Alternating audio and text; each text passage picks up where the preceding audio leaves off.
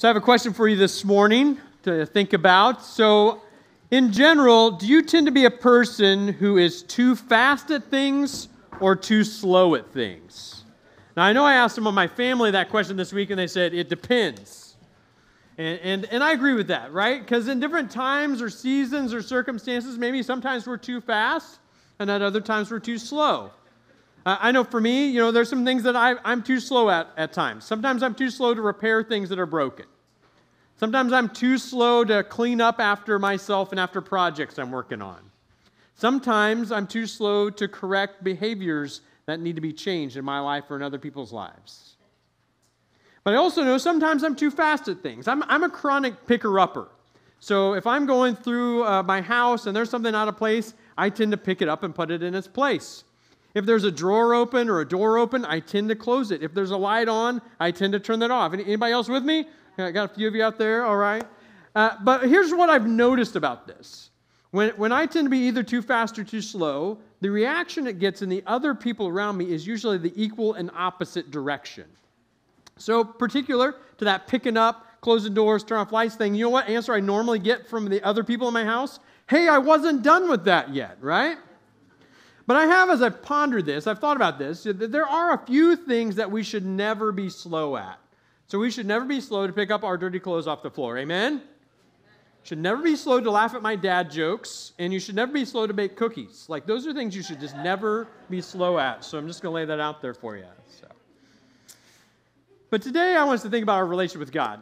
So, in our relationship with God, do you feel like God tends to be too fast or too slow in your life?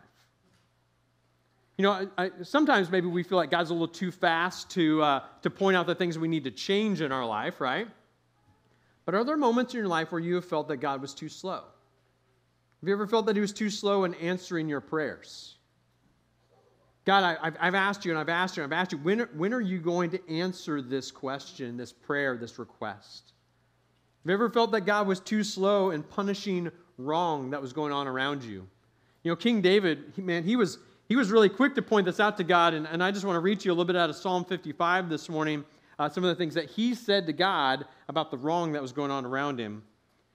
David says this God, listen to my prayer, and do not hide from my plea for help. Pay attention to me and answer me. Those are kind of demanding words, aren't they?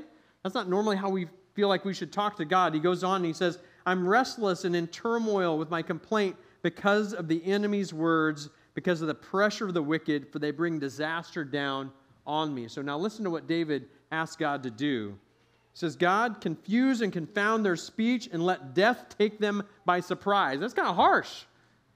That, that's, that's a lot bolder, maybe, than we are, but have you ever been in a situation where you felt like God wasn't paying attention to the wrong that was going on around you? And you said, God, when are you going to get this fixed?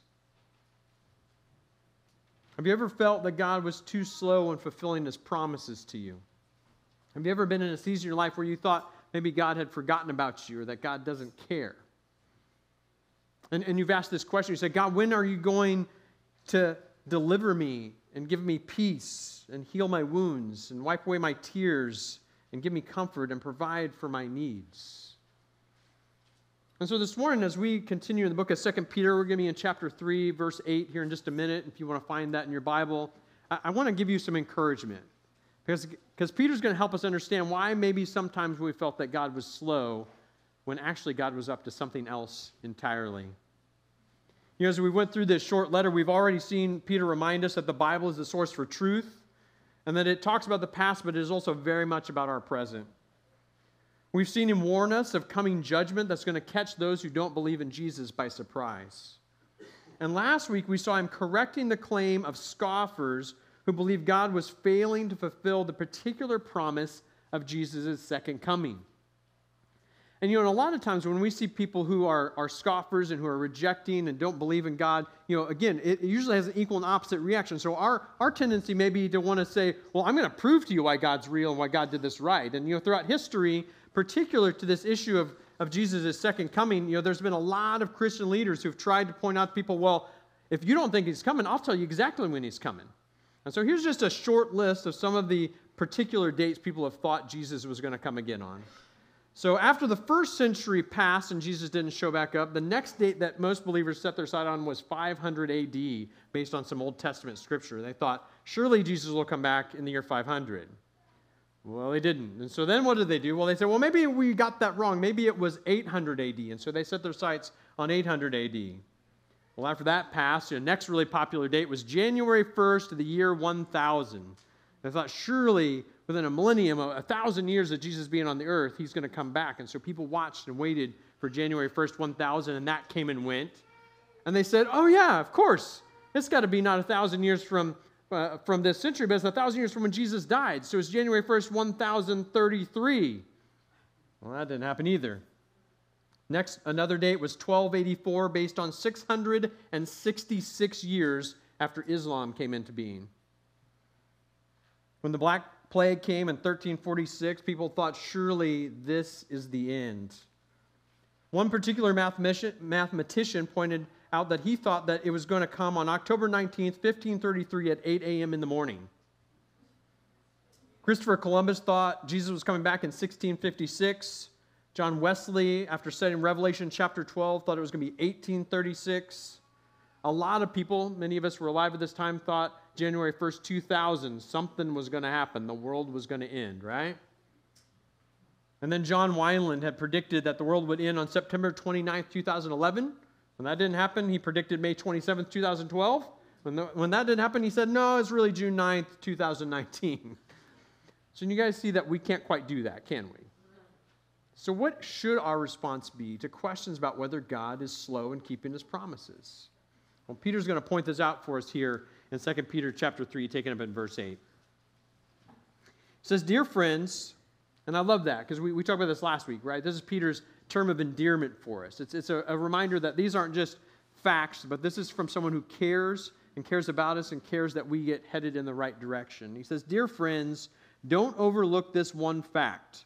With the Lord, one day is like a thousand years, and a thousand years like a day. So before you guys start getting out your calculators and a scratch pad and you start trying to figure those numbers out so you can calculate the end of the world, I, I just want you to understand that he's not talking about specific numbers, but he's referencing Psalm 90, which is a psalm that was written by, by David that talks about the fact that God is a beyond and above time, so much so that our view of time and our life is so insignificant compared to the vastness of who he is. And if you read through that psalm, you're going to see some really important things about time. One is, is that our view of time is irrelevant. As you read that, you're going to see that God's creation transcends anything we could imagine. The ability for God to do something out of nothing is beyond our understanding. And God was before there was time. And so, in contrast, our life is just but a fleeting vapor. It also points out to us that time doesn't impact God's plan. Do you know that God never gets in a rush? Like, God never gets in that situation where He's like, I don't think I'm going to have time to get this done before I have to be to the next thing. Like, He never looks at His to do list and says, I'm never getting all of these things done. God is beyond time and above time and outside of time, and He always gets done the things that He plans and intends to do because He is in control. Prophet Isaiah put it this way He says, For my thoughts are not your thoughts, and your ways are not my ways. For as heaven is higher than the earth, so my ways are higher than your ways, and my thoughts than your thoughts. God's ways are beyond our understanding. But it also points out to us that a long delay doesn't mean that God isn't keeping his promises. He may just not be keeping them the way you want them kept. That his plan may not be your plan. And it's like we shared last week, we have to realize we're not at the end of the story. It's not over yet. God still has a plan and he still has a purpose for what's happening right now. So Peter goes on in the rest of this little section and gives us a reminder of things that we can know for certain about God's second coming. Goes on here in verse 9. It says, The Lord does not delay his promise, as some understand delay, but is patient with you. If you're an underliner, that might be a good thing to underline. Isn't that good news that God's patient with you?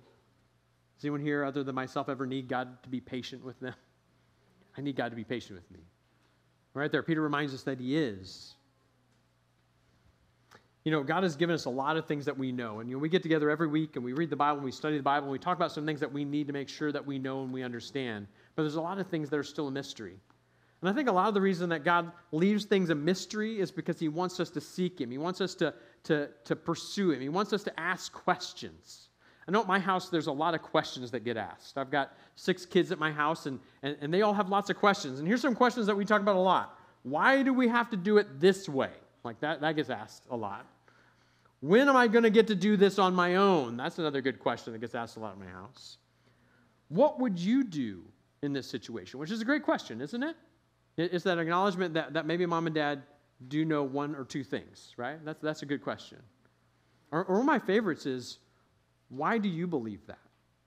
And, and I get to share with them my heart and my belief and, and, and, where I'm at. And I love those kind of questions. And then two more questions that get asked a lot is, will you give me the Wi-Fi password and can you get me some toilet paper? So those also get asked in my house a lot. But, but you know, those serious questions, they don't happen overnight. The, to get to that point where, where they start really unpacking what they believe in their heart and asking me to do the same thing, that doesn't happen overnight. Now, I'll tell you, if you have teenagers in your house, a lot of times it will happen late at night you know, I can't tell you how many times we're getting ready for bed and one of the teens will wander in and sit down on the edge of the bed and say, Hey, I've been thinking about something. And, and you know, and they have not talked to me all day long.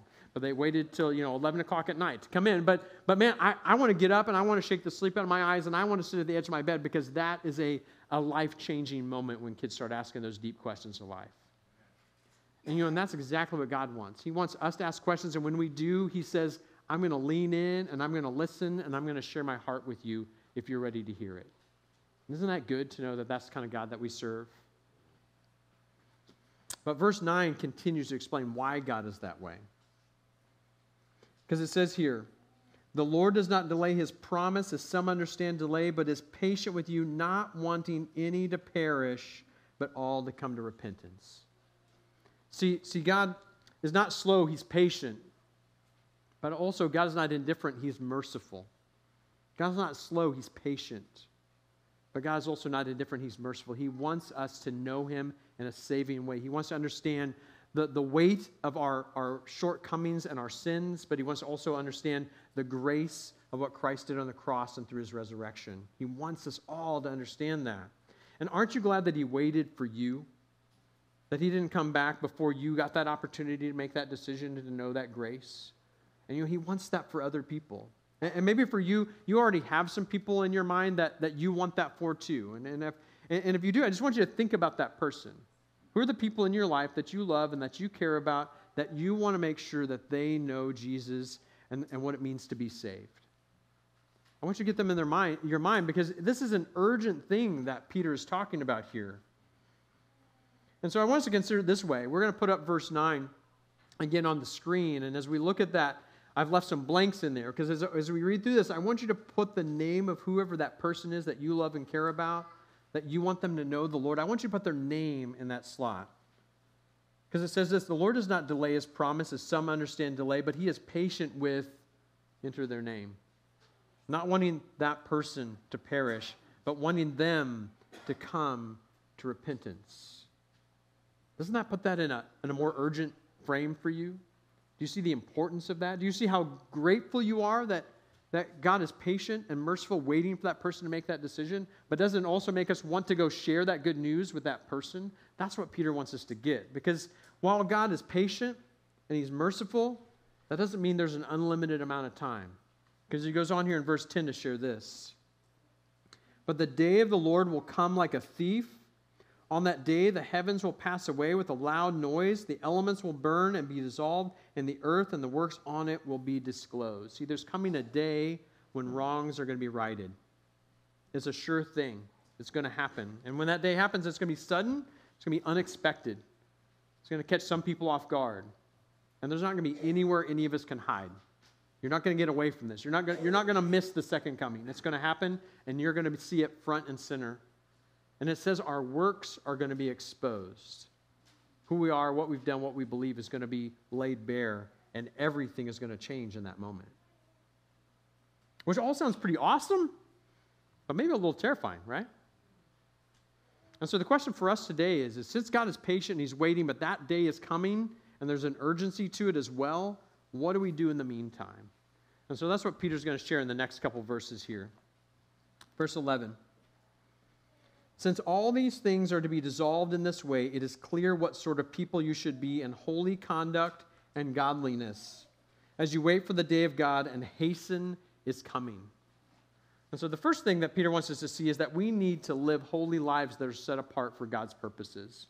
We talked about this the first week as we looked at chapter one, because, because God's grace is something that's a free gift. It's offered to us, it's not by our works, it's by faith alone in Christ alone through what he did on the cross and through his resurrection. But when we accept that grace and we understand that grace, it should change our life. It should lead us to want to obey and follow Jesus, which leads us to godliness. And, and when it says that we're set apart, set apart and holy are the same thing. And it means that, that, that you are different now when you're a follower of Christ. And what are you set apart for? You're set apart for God's purpose. You know, this summer in our Sunday school classes, we got to go through our 201 and 301 spiritual maturity classes. And in it, we talked a little bit about about what it is that we're supposed to be doing as followers of Christ. And one of the things we're supposed to do is, is to fulfill God's purposes, which, which is really cool. We talked about the fact that the purpose that God has for your life was planned before you were born. So, so it's, it's not anything that you have to invent or come up with, or you don't have to worry, like, I'm not sure I have a purpose. You have a purpose. God planned it for you before you were ever even born. And what is it? Well, Jesus put it this way in Mark chapter 16. He says, Go everywhere in the world and tell the good news to everyone. And so, sure, you know, you're supposed to raise a family and work a job and, and take care of your bills and you know, all those things that you're supposed to do. You, you, those are parts of what we do every day. But in the midst of those mundane things, our underlying purpose is to tell everyone everywhere the good news about what Jesus has done in our life. That's why you exist. That's what he's called you to do, is to go about spreading the gospel and making disciples. And Peter reminds us in this phrase also that not only are we set apart to that purpose, but our actions are going to affect the timeline. I want to look back here and I want you to see here in that last verse this really important word. He says, he says, as you wait for the day of God and hasten its coming. Does everybody know what the word hasten means? It means to make sooner. And so he says, when we tell people about Jesus, we make Jesus' second coming sooner. We bring it closer. And when Peter was writing that, he probably was thinking of the words of Jesus from Matthew 24, where he says this This good news of the kingdom will be proclaimed in all the world as a testimony to all the nations, and then the end will come. So when we've done that purpose of gone everywhere and told everyone about what Jesus happened, uh, what Jesus did, what's going to happen? And then the end will come. So when I tell people about faith in Christ, it brings that end a little bit sooner. Your actions affect the timeline. And you know, as we read this letter, we see how passionate Peter is about this, and we'll realize, we'll talk about this here in a second, we'll realize this is at the end of his life. But if you read the story of Peter's life and you look through the scriptures, and particularly if you look through the book of Acts as you watch Peter after Jesus is resurrected and tells him to go start the church, you're going to see that this has always been Peter's passion. When Peter got up on the first day of Pentecost and, and preached the first Christian message, you know what he preached? That Jesus is coming again. And for those who believe in him, that's salvation. And for those who don't believe in him, that's going to be separation from God for eternity. So you need to know who Jesus is and accept him as your Savior. That was his message, day one. And, and here at the end, what's his message? Hey, Jesus is coming again. For those who believe in him, that's going to be salvation and eternal life. For those who don't, that's going to be separation and punishment.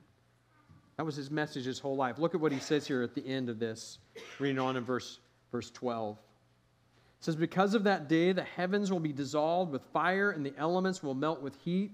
But based on his promise, we wait for new heavens and a new earth where righteousness dwells.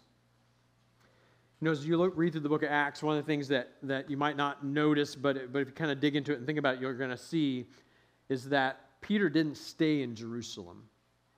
You know, that's, that's where this whole thing started. They, they were in Jerusalem and Jesus was crucified. And he came back and he told them to, to wait for the Holy Spirit. And then they got up in Jerusalem and preached the first message. And the church was born and it started to grow. But, but as we go along there, we find out that James, the Lord's brother, was the leader of the church in Jerusalem. And we can read into that that most likely that was because Peter didn't live there anymore.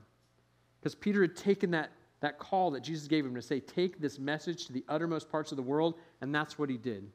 So he traveled to all of the known world and was taking the message of Christ all around because it was so important to let people know that Jesus was the Son of God who died for their sins and offering them salvation. And so he traveled and he taught and he ministered and he sacrificed because he felt the urgency of sharing the news of salvation and faith through Jesus. And then we get to these letters he wrote here at the end of the Bible, 1st and 2nd Peter. And if you read between the lines here, you realize that he was writing these from Rome. And history agrees that while he was in Rome, he was waiting to be martyred and eventually was killed for his faith, probably not too long after writing this letter we're reading right now.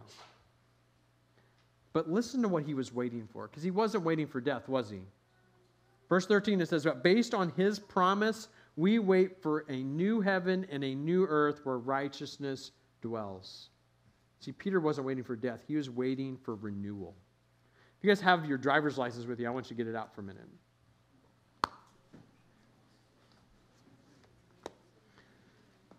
And uh, when you get it out, I want you to find the expiration date on your on your license. We'll see if anybody's in trouble this morning. Right? Has anybody ever realized that theirs was out, out of date? Yeah, I've, I've known several people who have done that in the past, right? So, so you might get get a nice surprise this morning. So, so mine is November 19th, 2023. I'm good for a couple more years, right? So, but if yours is getting close or perhaps is already passed, what are you going to have to do? You have to get renewed. Where do you have to go to do that? The license bureau, right? And, and you know, it's kind of this stereotypical joke in our culture, right? Uh, that, that going to the license bureau is just slightly less bad than everything you love and know being burned up in fire, right? And that you probably got a long wait and you probably won't have everything you need. But you know, I'm so thankful that we live in a small town like Buffalo and I, I, know for me, going to our license bureau is nothing like that, right? Uh, if you go to our license bureau, you know what's going to happen? Someone is going to cheerily greet you and tell you that they're glad you're there. And they're to and they're to serve you with a smile and they're going to help you make sure you know all of the things that you need to do to get whatever transaction you need going. And, and it's going to be a pleasant experience. And I'm thankful for that. I'm think, thankful that we are not the typical license bureau here in Buffalo, Missouri, because they make renewal pleasant in our life. And you know, that's exactly what Peter's message to us is today. Is that for those of us who know Jesus as Savior, what we're waiting for is worth the wait. Because we have an assured renewal that's coming when Christ comes back because of what He's done in our life through His good grace. So we put our hope in Him. And we know for those who don't know Jesus as, as their Savior, this delay is because God loves them and desires that they know him and not perish, but be renewed. You know, there's going to be a day when Christ is going to physically return to judge everything. It's, it's a fact. It, it, Peter, Peter knew that and believed that just as much as he believed Jesus in the flesh that he saw and the resurrection that he saw. He had just as much faith in that future coming as he did in the coming that he witnessed. And it's going to happen. And when that happens, for those who find their, their names written in the book of life because of their faith in Jesus, they get to go on to an eternal reward called heaven. But for those who do not, they're going to be cast into punishment in a lake of fire known as hell. And these are real places. And so, as we think about this today, and Peter's message us today, here's the question for us What are we waiting for? What are you waiting for today? Have you trusted Jesus as your Savior? Have you asked Him to forgive you of your sins? Have you asked Him to be the leader of your life? If you haven't, what are you waiting for? He's offering, He's waiting. That's His desire for you to do that. And when we do, we're going to find forgiveness and wholeness and goodness of God in our life. And for those of us who've done that already, what are we waiting for? Are we sharing the good news with those around us, hastening the day when Jesus will come back and set things right?